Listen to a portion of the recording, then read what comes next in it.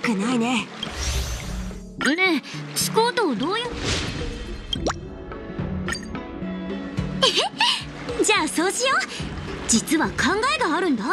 以前現美月なのか？もちろん。うちのここ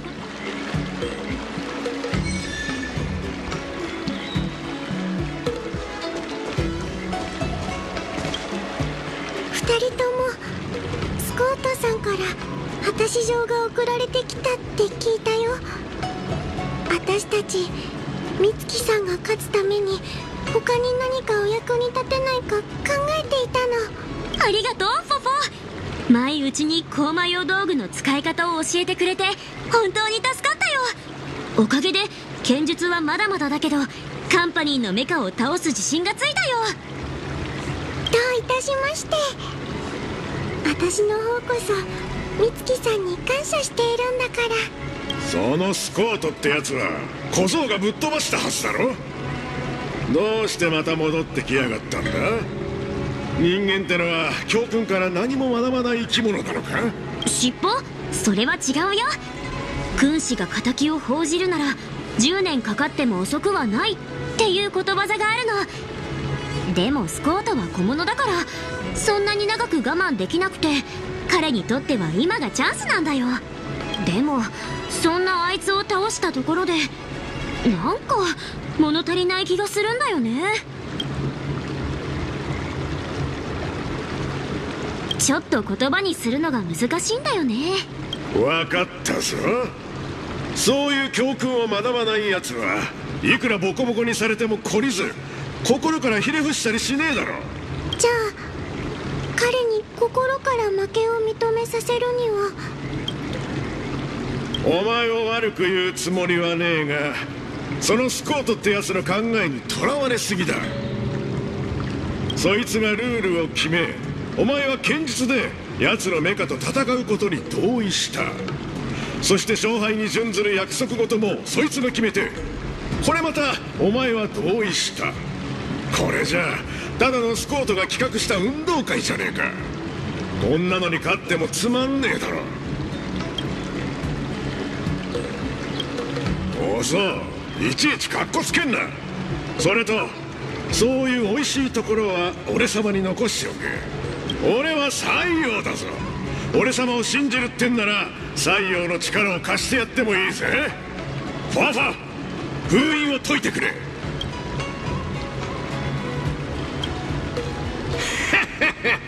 ただ取り付くだけじゃつまんねえ。そいつの心の奥に潜り込んでやる。見てやがれ。俺様がスコートを改心させ心から負けを認めさせてやるぜ。どうだ？おおさすがは尻尾。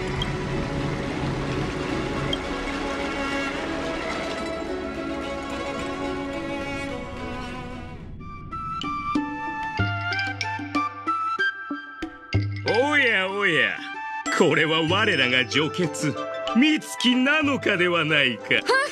果たし状を受け取ったからにはうちは逃げも隠れもしないよ。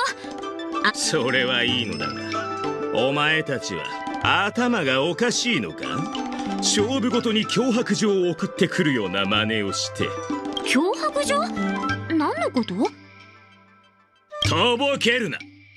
これはお前たちが私のポケットに忍ばせたものだろ弱い者いじめをする傲慢で横柄な大役人スコート殿へあなたは歪んだ権力欲を罪なき天守に向け歴史と伝統のある泉州の剣術を愚弄した。私たちはあなたに全ての罪業を自白させその歪んだ欲望を正すことに決めた。字も汚すぎてお前が読むまで何と書いてあるかすらわからなかったぞ。ふざけるな！ん？今？誰も話してないよ。空耳だよ。まあいい。話はこのくらいにして。彼女が剣を抜くところすら捉えられず。まるで時間がとその瞬間。私は思い出した。子供の頃に海辺で春誰が家で緑の明かりを灯すと言うんだ。あどうして急にこんなことを思い出す？これがスコートの心の中の世界のようだな。こいつの最も歪んだ欲望を探さね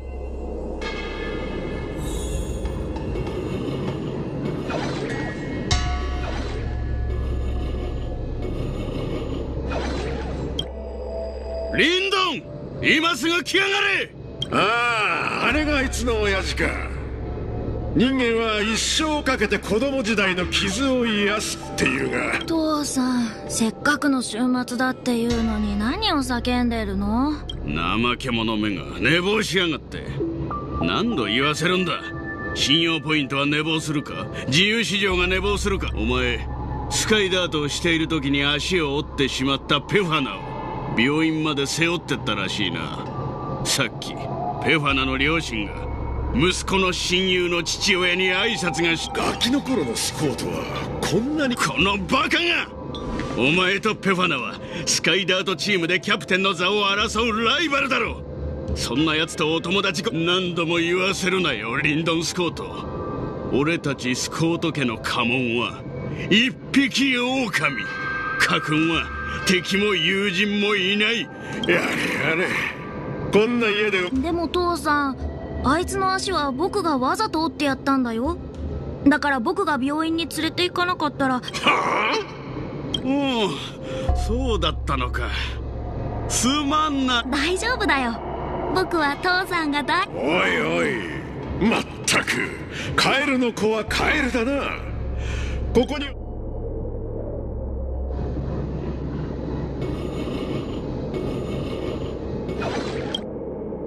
スコートさん。あなたに巨額の賄賂を受け取った容疑がかかっていますのでご同行願います。お老いぼれめ。捕まりやがった。これだけ悪事を働いていればいつかは捕まるだろう。だが最後に一つ教えてほしい。俺を売った奴は誰なんだ？内部告発のためお教えすることはできません。内部告発だと？この件に関わってんのは動機も証拠もない奴らばかりだぞ。一体誰が？僕だよ父さん。僕。なんだとリンドン？お前が俺を売ったってのか？なんて親孝行のやつなんだ。泣けてくるぜ。お前を誇りに思うぞ。参ったよ。父さん俺を踏み台にしてもっと高みを目指せリンドン。お前はスコート家の誇り一人前の一匹狼だ。父さんの教えを守っていくよ。こいつの子供時代は救いようがないみたいだな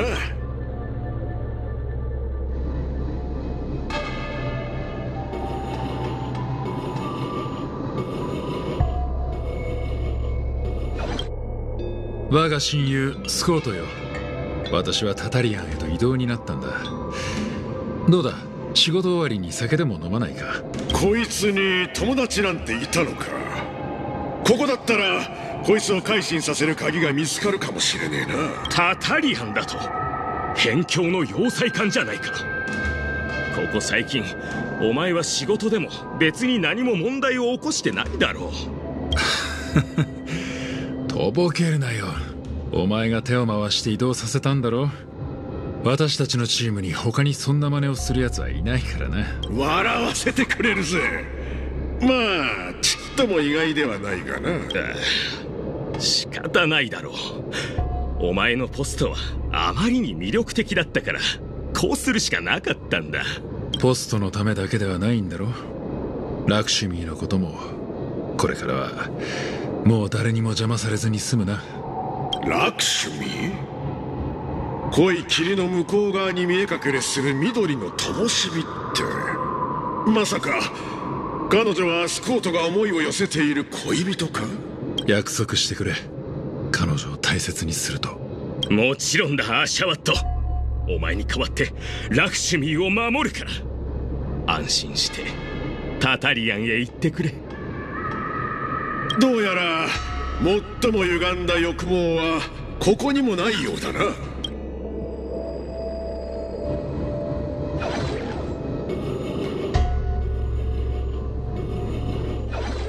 スコート？私たちが知り合ってからどれくらいになるか知ってる？そうだな。78年くらいか。もう何年も一緒に仕事してるのに実は実家がこんなに近いことに気づかなかったなんて。おかしいと思わない？普段会社でこんな話をすることはないからな。まさかスコートが純情派のクズだったとはな。実はね今までずっと我慢して言えなかったことがあるの私のことが好き。そうちょちょっといきなり何言ってるの？ほうやるじゃねえかスコート。ドストレートだ。ええ。そそうよスコート。あなたも。恋人になりたいわ。スコートついに見つけたぜ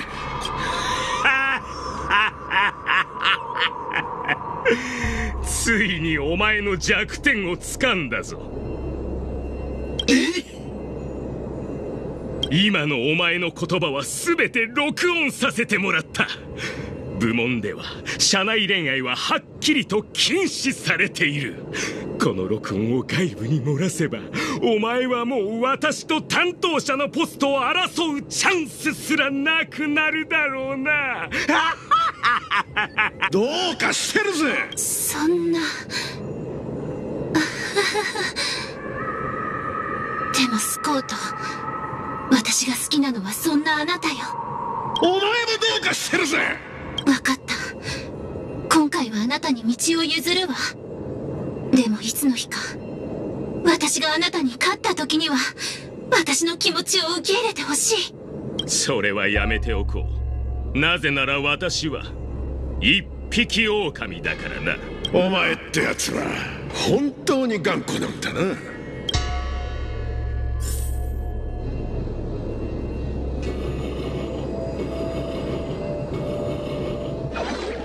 あれは狼？いやスコート自身かあいつの背後にある王冠が最も歪んだ欲望に違いねえ。ついに魂の奥底に潜り込んだぞ。こいつは本当に救いようがねえな。誰だ？ここは私のプライベートの領域だぞ。どうやって入ってきた？俺様がどこにいようがお前の許可なんざいらねえ。少し言わせてもらうがな。お前ってやつは出世のためなら何だってする全ては成功のため。私はスコート家の誇りであって一人前の一匹狼だ。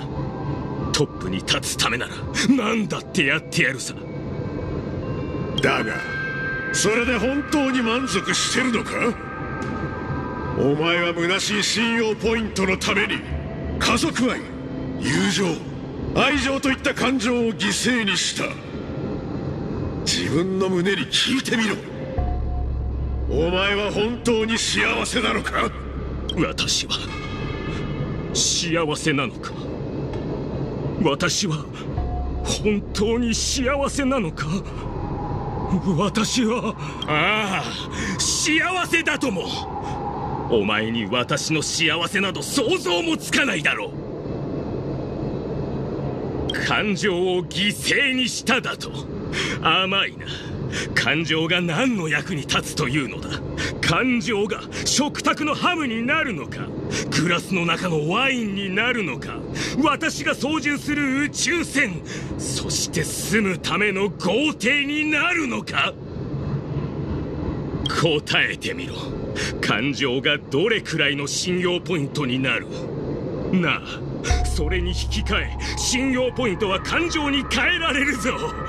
これさえあれば誰とでも友達になれるのだ。はあこいつは本当に救いようがねえな。方法を変えて対処するしかなさそうだ。だが私は金を感情のような全く無意味なものに使うつもりはない。はっつべこべ言わずかかってきな一匹狼のスコートさんよ。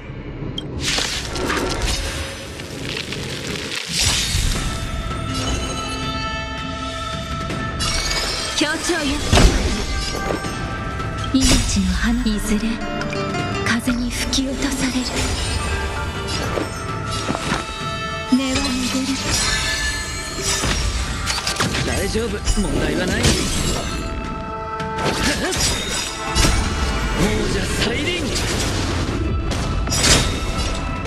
引導を渡そう。涙。雨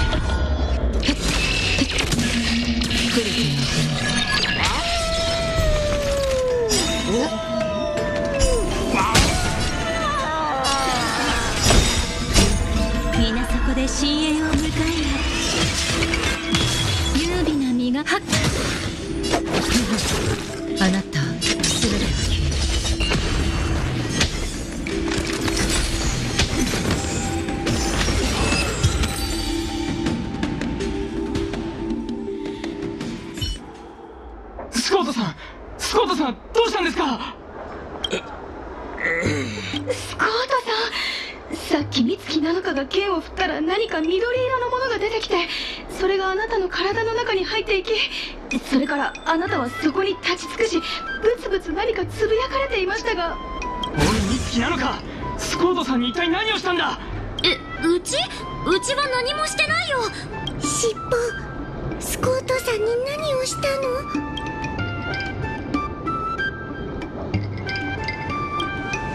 何言ってんだ？俺様はあいつの心の中にある最も歪んだ欲望。スコートさんの様子がおかしくなってきた。尻尾本当に改心させたの？俺様も試したのは初めてだから何が起きるかはわからねあんなやつを改心させられるなんて尻尾って本当にすごいね。え 俺様はお前たちが思っているよりもずっとすごいんだぜ。スコートさんどうしたんですか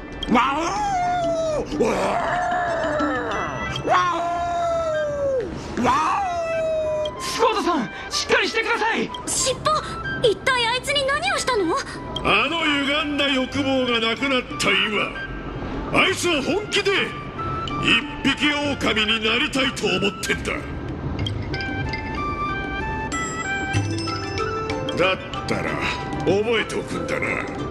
絶対フォフォを敵に回すんじゃねえぞ。うわスコートさん噛まないでください。逃げ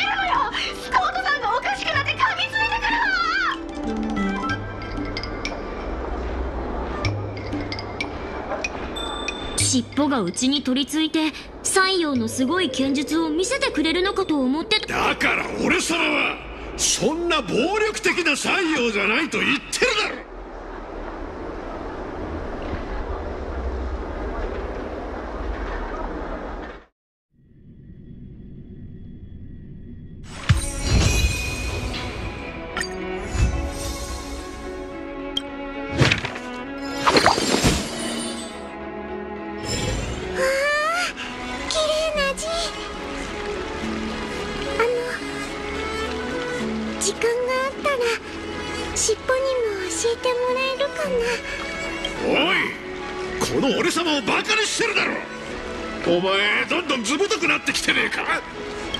なのか何を書いてるの？請求列車に手紙を書いてるんだよ。こんなに長いこと留守にしてるから無事を知らせないとね。先週には宝華三月に連なり箇所板金に当たるっていう詩があるでしょ。それを引用するのは少し不吉な気がするけど。へえ。無事を知らせるために手紙を書くってあなたスマホ持っていないの？それだとありがたみがないでしょ。しかもちゃんと手書きなんだから。これならみんなもうちが本当に泉州にいるってわかるでしょ。でしたら今回の僕たちの輝かしい勝利のこともしっかり書いてくださいね。わざわざ仕事を抜け出してきたのは手紙を書くのに付き合うためじゃないよ。早く庭園美玉パイをやりに行こうよ。ちょっと待ってよ。書き終わったらすぐ行くから姫子幼児ちゃんパムへそっちの旅は順調。うちはラフで元気にやってるから安心してね。